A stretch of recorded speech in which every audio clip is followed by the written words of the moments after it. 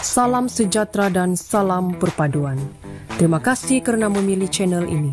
Jangan lupa tekan subscribe dan tekan tombol lonceng untuk mengikuti info terkini.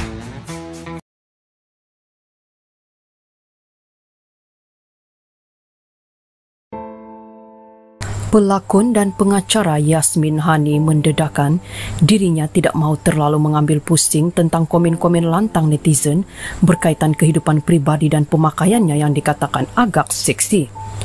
Menurut pemilik nama lengkap Yasmin Hani Ismail ini, dia tidak mahu keadaan mentalnya terjejas jika terlalu memikirkan apa yang diperkatakan oleh orang luar.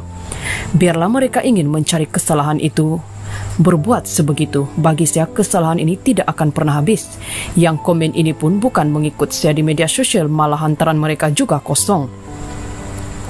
Jadi saya ambil pendekatan untuk padam dan sekat saja komen-komen tersebut sampai bila yang saya mampu. Mereka ini tidak akan hilang di dunia sama ada anda ingin hidup atau tidak dengan mereka saya memilih untuk tidak katanya.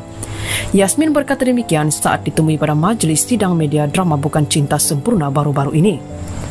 Dalam pada itu, ibu kepada dua orang cahaya mata itu mahu lebih menghargai orang-orang yang sentiasa menyokong dan memberikan aura positif di dalam hidupnya. Pada akhirnya nanti saya akan lebih menghargai orang-orang yang menyokong saya. Saya hanya menjalani kehidupan saya sendiri dan tidak buat jahat pada orang lain. Saya jaga orang-orang di sekeliling saya. Saya buat kerja saya dengan bagus dan sentiasa memberikan yang terbaik. Saya sentiasa bersikap profesional. Buat mereka yang selalu memberikan kata-kata semangat dan menyokong saya, saya lebih menilai orang-orang seperti ini. Saya saya tidak masana baca komen dan menangis di tepi bucu katil ujarnya lagi. Ditanya mengenai penerimaan keluarga apabila namanya seringkali menjadi perhatian sejak akhir-akhir ini, ini respon Yasmin. Keluarga saya tak ambil tahu pun yang paling penting sekali sebelum orang luar tahu apa-apa, ibu saya akan tahu dahulu dia tinggal bersama saya.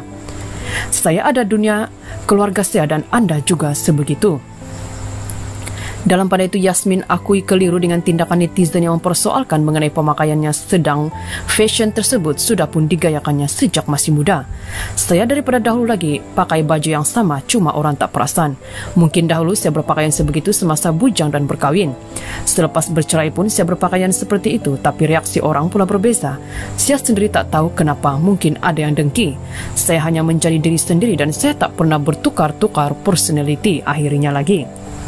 Baru-baru ini Yasmin dikecam hebat netizen gara-gara berkongsi gambar di Instagram yang memaparkan dirinya mengenakan pakaian renang yang dikatakan agak seksi. Malah hubungan cintanya dengan pelakon Alif Hadi yang juga seringkali diperkatakan netizen gara-gara kerap berkongsi hantaran mesra di media sosial.